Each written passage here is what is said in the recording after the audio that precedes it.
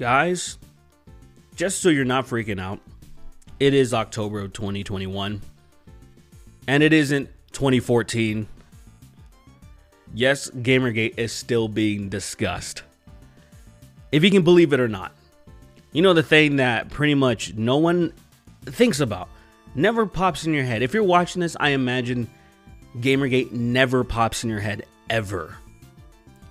Yet there are certain people, certain charlatans, like Brianna Wu, who not only won't let it go, is pushing it into new heights.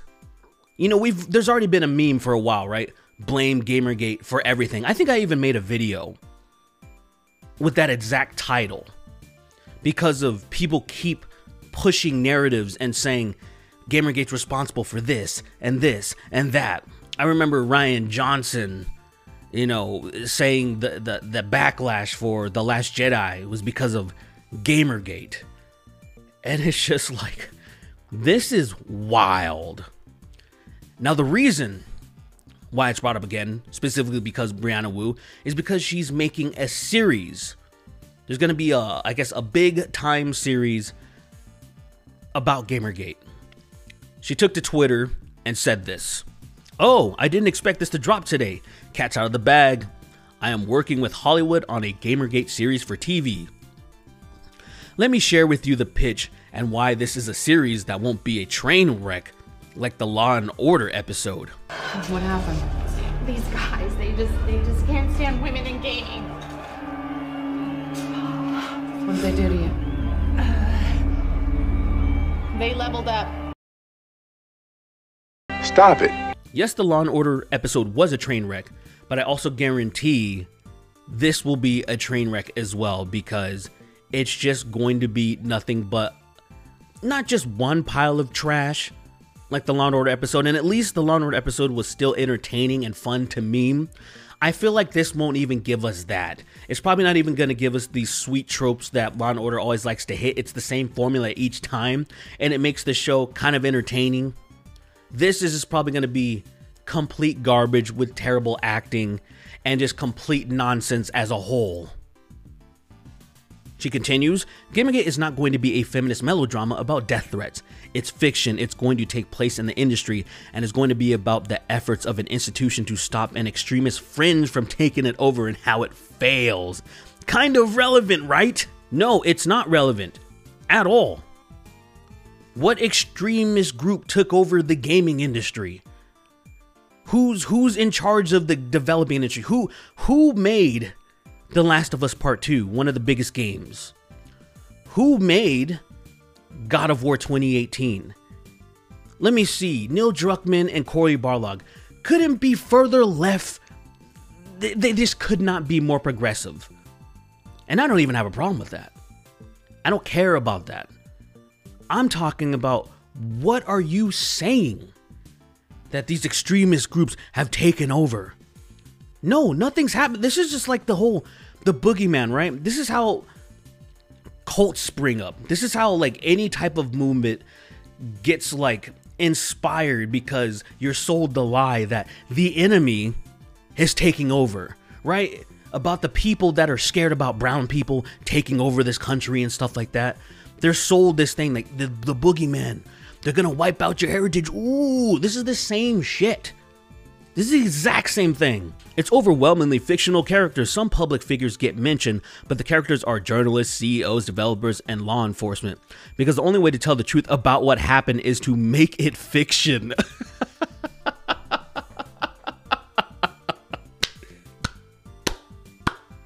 I feel like Shang Tsung. I feel like, like you know, just clapping. We're like, well done.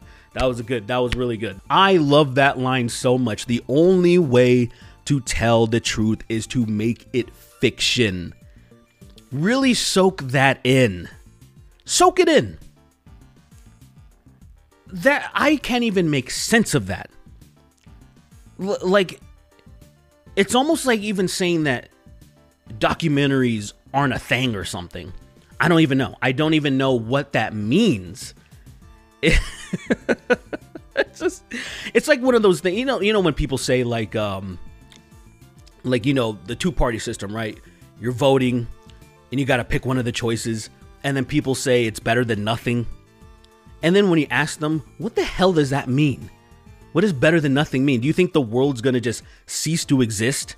Do you think the, the, the country is gonna implode? It's gonna completely collapse if one of these old dirt bags aren't in charge? Do you hear what you're saying? It doesn't make any sense.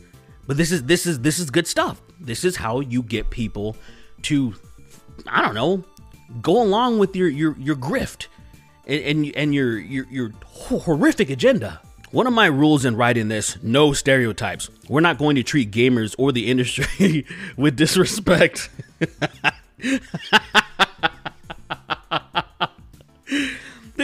the, the entire premise of Gamergate is disrespecting gamers. Of course, she is bullshitting about that, right? And there's a lot of people that believe to the contrary because of people like her that are spewing, you know, she's feeding them lies. A lot of people, you don't expect them to be a part of this whole thing that took part on YouTube mostly. So they hear it from people that they respect or their friends, and then they don't question it at all. Until every conspiracy theory starts.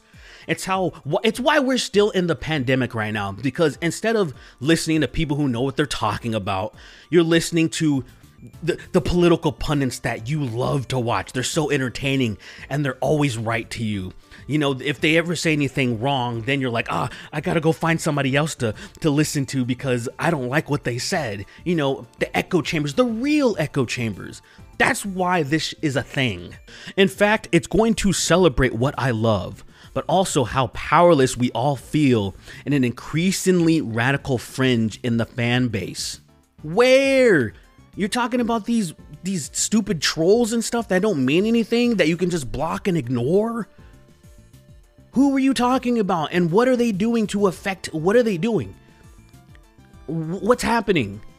What's what's going on with the gaming industry? Is it not still the most popular medium out there?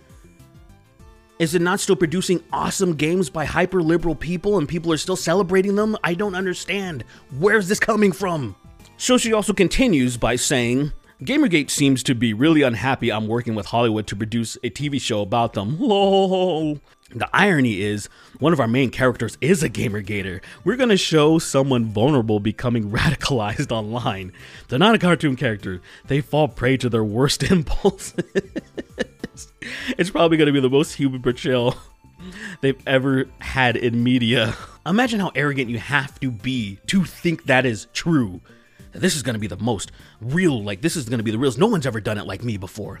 This is so accurate when it's like the basis of it is an absolute fucking lie in the first place. You're rooting for them to understand how they're being manipulated. You see them making worse and worse choices, and it's horrible to watch. See, in my opinion, this is 100% projection.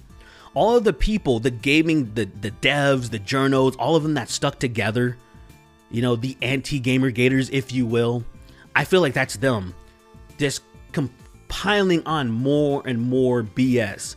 They can't backtrack now. They can't do it. So they just keep going deeper and deeper. And then you're just watching them make worse and worse choices, like Brianna Wu. Look what she's doing. She's still at it. No one else is talking about this. Everybody else moved on. It, it was trash. It, it's it's disappointing how the gaming industry handled this, but it is what it is. At the end of the day, we all still play games and we're still gonna play good games, so who gives a shit? The idea is people will see themselves in the Gamergator and realize how they are being manipulated by disinformation. Oh my god. I feel like I gotta give Brianna Wu props. This is so evil. Like, I feel like she knows exactly what she's doing. I don't believe that she's one of the people that have just got bad information that had it relayed that doesn't really have any stake in this and they're just hearing the stuff like Rian Johnson. I don't think Rian Johnson has watched any videos being like, "Oh, I wonder what Gamergate is really about." Let me check it. I'm sure he just watched one video of his favorite bread tuber and then he got his information on it and then he never questioned anything ever. I'm assuming that's what's happening. You know, nobody's doing any tri- type of cross referencing or seeing, is there any, is, is this actually true? This sounds crazy. How could people that play video games be responsible for all of these all of the atrocities in the world like Brianna Wu saying Gamergate created QAnon and the Christchurch shooting and just everything that has happened, right? I'm surprised she hasn't said, "Oh, Gamergate's responsible for for 9/11, it's responsible for Waco, it's responsible for the Oklahoma City bombing, or just every atrocity ever with any right-wing Christian extremists and stuff that has existed before Gamergate's a thing." I'm surprised she still didn't find a way to twist it and say like, "Well, you know, they all played Pac-Man and Tetris and shit, or they played Pong, so it's still technically correct." Look, ladies and gentlemen, I know the vast majority of you that are watching this already know what Gamergate is about. There are so many videos, probably hundreds of videos online. I've made videos, I've broke it down long, I broke it down short, but I thought I would try something just a little bit different and maybe that somebody that is uh, confused or they don't really understand, this is the best way that I can break it down. Uh, just off the top of my head, like let's just say that you work in a restaurant industry, let's just say like an Olive Garden or something. There's just a bunch of Olive Gardens, you know, just a branch chains of them, right? You're a part of the team. You're you're an employee that's in the higher up, right? You're you're like management and stuff and owners, and you know all these people. You go to conferences together and whatnot, right? Then you find out that one of the employees, one of those same people that are on your level, to get a leg up in the industry, to try to climb up the corporate ladder, they're sleeping with people. People that have, you know, wives and stuff, they're just sleeping around just to get a leg up because it happens. People sleep around to gain stuff. It happens in every industry. So let's say it happens in this one. And not only do everybody, all of your peers find out, the customers, the people who consume your product, they find out too. And they're like, wow, what a trash human being. They should probably be fired. But instead of firing this person, you protect them. And not only do you protect them, you trash the customers that say you should probably fire them. Right? You call them all these names and say they're terrible people. You cherry pick all of the lunatic customers, you know, the ones that are complaining about their soup's too cold and then they riot and scream. It has nothing to do with the employee that is doing all the misconduct and doing all the unethical practices. They're complaining about soup. And then you're blaming and saying, oh, look at this guy, look at this customer, and this one that's just screaming and acting belligerent and being a complete bigot and racist and everything else. And then saying, it's all of you. It's all of you, right? And then some people, they create a movement or something and call it Olive Gate or something, right? And then all of a sudden, Olive Gate is about, oh, all these disgruntled customers, they're all a bunch of disgusting human beings. They're just being terrible. And now they're committing all these other atrocities that have nothing to do with food and, and restaurants. You understand where I'm obviously you understand where I'm going with this? Because that is the basis for Gamergate. Zoe Quinn sleeping her way up to the top in the gaming industry. People call her out for her misconduct, her unethical practices, all the stuff that's happening all of you motherfuckers band together and then shit on the demographic, the gamers. Then you're saying they're all racist, they're all this, they're all basement dwellers, they're all sexist, they're all misogynistic. All of these things. cherry picking examples of comments and stuff from these these unhinged people and saying it's everybody, it's the entire movement, it's what's responsible for QAnon and all this stuff when there were no politics in it at first. You guys interjected your stuff into it. Just like all of the, the the the, gaming journalist websites, all the Kotaku's and whatnot, started putting all this crap in there that nobody was asking for. This same sentiment, where it's like, what's happening? I just wanted to play some fucking video games. Now we're all the way to the point where one of the offenders of this and one of the people who keep pushing it and won't let it die is now saying, I'm making a series that's going to highlight my bullshit fantasy narrative to drive it home and to continuously infect the hearts and minds of casual people who have no idea what's happening. And unfortunately, the casual person is too busy working and supporting their family to look into this stuff. They don't care enough, and I don't blame them. It's pretty simple, man. Like, I, I, like, seriously, I would love for like videos like this to make it to the top so people can get a fresher perspective on what happened, what Gamergate what actually was, and why it's even called Gamergate in the fucking first place. Remember with all the anti SJW and anti feminist videos where a lot of people were unfairly saying it's just feminism as a whole? And I've made my I've done my due diligence to say that it's not just feminism as a whole. We talk about third wave and the radical weird shit that's happening with all the wild hair and the, the obese people that are just, you know, they, they just feel wronged and they just want to screech and bitch. Those that's the same stuff with the the radical weirdos that there are that are on all these, you know, these these chat boards and and Discord and stuff. Those fringe people don't represent when people are actually trying to change something, when they're actually speaking sense. And you lump everybody in the same group, and you're like, it's so fucking dishonest. It's crazy, man. What a terrible person. And, and and and I say this all the time, just because you think you're on the right side of history does not give you a pass to be a complete asshole. And I feel like that's the biggest problem we have. These people will not call their own people out because they're on the same team. Happens on any side. I'm not I am not just saying, oh, it's only progressives. Absolutely not, man. I can go hard in the paint on conservatives all day about this stuff. But I'm focusing on Gamergate right now. And this never would have gotten to this height. This never would have happened if Zoe Quinn would have just gotten kicked out of the industry and said, like, what a bad apple. Screw this person. We're going to do better. That's it. It, it would have been done. It would have been done.